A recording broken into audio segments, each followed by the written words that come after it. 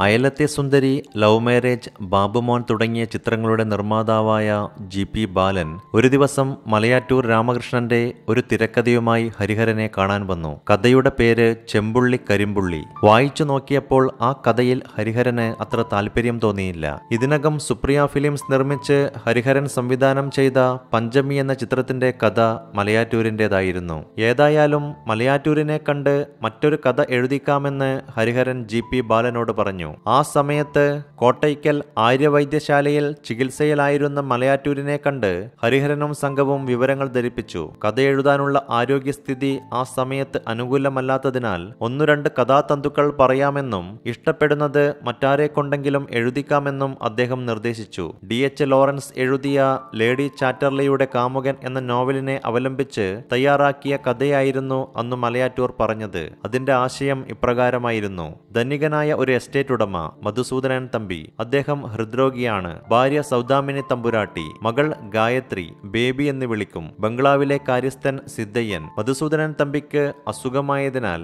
Estate കാര്യങ്ങളെല്ലാം നോക്കി നടത്തുന്നത് സൗദാമിനിയാണ്. എസ്റ്റേറ്റ് ഫാക്ടറിയിൽ പുതുതായി വന്ന എഞ്ചിനീയർ ചന്ദ്രശേഖരനുമായി യാദൃശ്ചികമായി സൗദാമിനി ബന്ധപ്പെടുന്നു. വിവരമറിഞ്ഞ തമ്പി ആ ഷോക്കിൽ മരണപ്പെടുന്നു. അപമാനത്തിൽ നിന്ന് രക്ഷ നേടാൻ സൗദാമിനി ചന്ദ്രശേഖരനെ തന്നെ വിവാഹം കഴിക്കുന്നു. വിവാഹാനന്തരമാണ് സൗദാമിനി ചന്ദ്രശേഖരന്റെ തനി സ്വരൂപം മനസ്സിലാക്കുന്നത്. അയാൾ മദ്യപനും സ്ത്രീലമ്പടനും ദൂർത്തനുമായിരുന്നു മാത്രമല്ല സൗദാമിനിയെ ശാരീരികമായും മാനസികമായും പീഡിപ്പിച്ചുകൊണ്ടേയിരുന്നു. സഹികെട്ട ഒരു സാഹചര്യത്തിൽ സിദ്ധയ്യന് അയാളെ വധിക്കേണ്ടതായി വരുന്നു. ആ കുറ്റം സൗദാമിനി ഏറ്റെടുക്കുന്നു. ഈ മൂലകഥയെ ആധാരമാക്കി കഥയിലും കഥാപാത്രങ്ങളുടെ സ്വഭാവത്തിലും സംഭവങ്ങളിലുമെല്ലാം ആവശ്യമായ മാറ്റങ്ങൾ വരുത്തി കൊടൈക്കനാലിന്റെ പശ്ചാത്തലത്തിൽ ഹരിഹരൻ ഒരു തിരക്കഥ എഴുതി.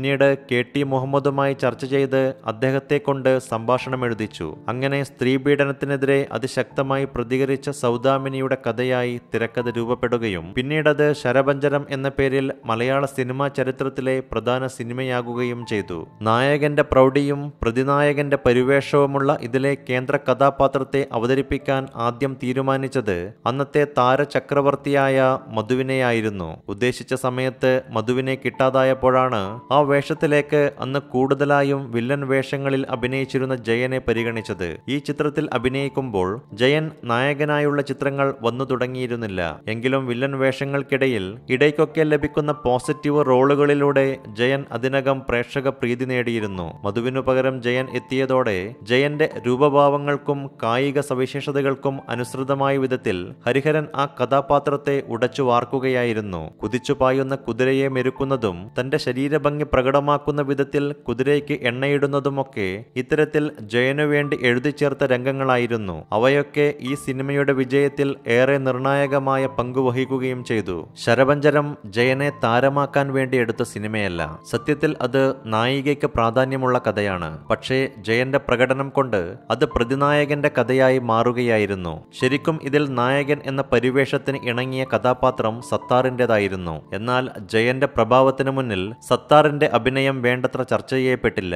എങ്കിലും സത്താർ എന്ന നടനെ ഒരു പരിധിവരെയെങ്കിലും ജനകീയനാക്കിയതിൽ ശരഭഞ്ജനം വഹിച്ച പങ്ക് വളരെ വലുതാണ്. ഇതിനു മുൻപ് അനാവരണം എന്ന ചിത്രത്തിലെ നായക വേഷം ഉൾപ്പെടെ പല ചിത്രങ്ങളിലും സത്താർ വേഷമിട്ടെങ്കിലും ശരഭഞ്ജനത്തിനു ശേഷമാണ് ആ നടൻ കൂടുതൽ തിരക്കിലേക്ക് ഉയരുന്നത് ഷീല എന്ന അഭിനേത്രിയുടെ ഏറ്റവും വലിയ പ്രത്യേകത നായികയുടെ ഇമേജ് നോക്കിയവർ ഒരിക്കലും അഭിനയിക്കാറില്ല എന്നതാണ്. സാധാരണ നടിമാർ ഏറ്റെടുക്കാൻ മടിക്കുന്ന തരം നെഗറ്റീവ് ഇമേജുള്ള കഥാപാത്രങ്ങളെ ധൈര്യപൂർവം ഏറ്റെടുക്കാൻ ഷീല തന്റെ കരിയറിൽ എക്കാലവും സന്നദ്ധയായിരുന്നു. ശരവഞ്ചരത്തിൽ ഷീലയുടെ കഥാപാത്രം സാധാരണ നായികയുടെ ഇമേജിന് വിരുദ്ധമായിരുന്നു. നെല്ലിക്കോട് ഭാസ്കരന് ആ വർഷത്തെ ഏറ്റവും മികച്ച സഹനടനുള്ള സംസ്ഥാന അവാർഡ് നേടിക്കൊടുത്ത ചിത്രമാണ് ശരപഞ്ചരം ചുരുക്കം ചില ചിത്രങ്ങളിൽ മുൻപ് അഭിനയിച്ചിട്ടുള്ള ഒടുവിൽ ഉണ്ണികൃഷ്ണൻ എന്ന നടനെ താരമാക്കിയതും ഈ ചിത്രം തന്നെയാണ്. യൂസഫ് അലി കേച്ചേരി രചിച്ച് ദേവരാജൻ ഈണം പകർന്ന അതിമനോഹരമായ ഗാനങ്ങൾ കൊണ്ടും സമ്പന്നമായിരുന്നു ഈ ചിത്രം. ശരപഞ്ചരം റിലീസ് ചെയ്യുമ്പോൾ ഹരിഹരൻ തിരുവനന്തപുരത്ത് താര ഹോട്ടലിൽ ഇടവഴിയിലെ പൂച്ച മിണ്ടാപ്പൂച്ച എന്ന ചിത്രത്തിന്റെ സെറ്റിലായിരുന്നു. സിനിമ കണ്ട് നിരവധി പേർ അഭിനന്ദനമറിയിക്കാൻ ഹരിഹരനെ വിളിക്കുന്നുണ്ടായിരുന്നു. അതിൽ ആദ്യം വിളിച്ചത്